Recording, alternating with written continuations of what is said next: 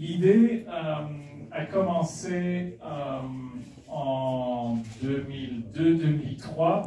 François de Morgrave et moi avions entendu parler de venture philanthropy. On revenait, moi de Londres et lui des États-Unis. On se disait qu'on devait rendre quelque chose à la Belgique dont on était originaire et que euh, les compétences du secteur privé c'était bien, mais c'était un peu sec, que la plupart des gens qui vivent dans le secteur privé vivent un peu dans une bulle dorée, et euh, que s'ils pouvaient tous sortir de leur bulle dorée, se rendre compte des problèmes sociétaux qui existent et euh, réintégrer le monde du corporate en ayant compris les vrais problèmes sociétaux qui habitent autour d'eux et eux amener leurs compétences, ce serait pas mal.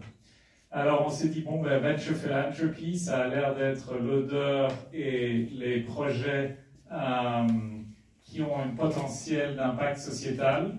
Lançons une organisation qui fait du Venture Philanthropy et puis en fait on s'est rendu compte qu'on connaissait rien en Venture Philanthropy et qu'on connaissait rien au monde des ASVL donc on allait commencer à travailler euh, pour une ASBL et euh, l'aider. C'était l'accueil à Charleroi euh, qui s'occupe d'enfants maltraités.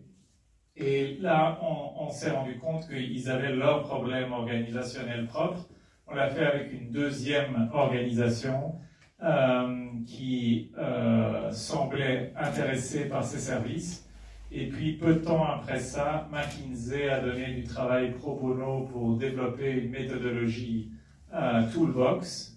Et, euh, et, petit à petit, euh, l'organisation a cru, a grandi. Et Bernheim, dès le début, ont été extrêmement généreux à notre égard, comme c'est encore le cas aujourd'hui.